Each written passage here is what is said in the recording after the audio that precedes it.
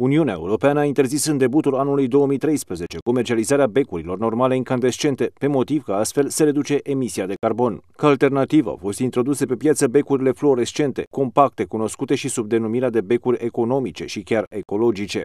Atât de ecologice încât ne pun viața în pericol. Numai spargerea unui bec poate împrăștia o cantitate periculoasă de mercur, fluor și metal greu, care odată ajunse în natură ne pot îmbolnăvi.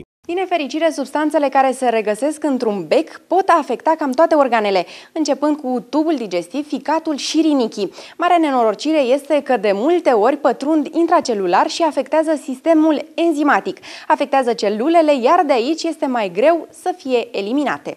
Becurile economice nu trebuie folosite de adulți la citit sau ținute aproape de capul copiilor, mai spun experții. Cercetarea nemților arată că substanțele chimice sunt degajate sub formă de abur. Printre ele se numără fenolul, dar și naftalina și stirenul. Testele arată că materialele folosite la fabricarea becurilor sunt probabil responsabile pentru efectele lor secundare dăunătoare.